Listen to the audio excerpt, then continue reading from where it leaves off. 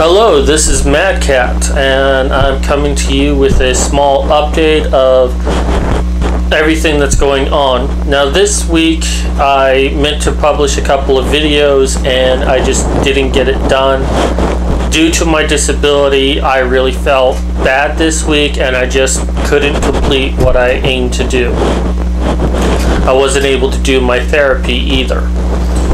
Now, with um, the cooking video, I do apologize for anyone who watched that. You'll notice that just abruptly ends. I think I reached the maximum time that I can upload to YouTube, or something happened in the encoding process and it just quit.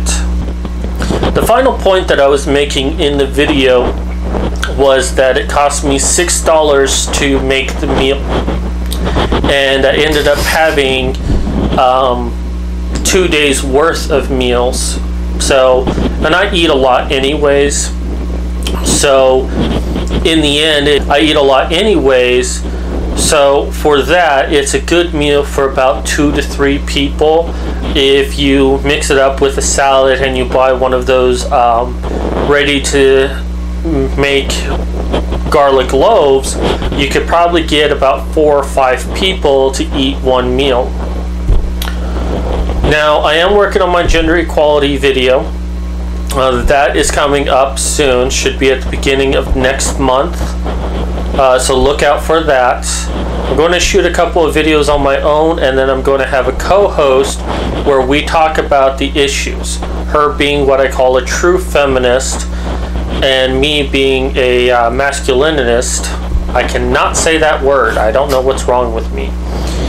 But neither of us represent the extreme or the radical of either group. So I'm very much looking forward to that. Um, there's also the news video. I'm about to shoot that right now. I do apologize for the delay on that one as well.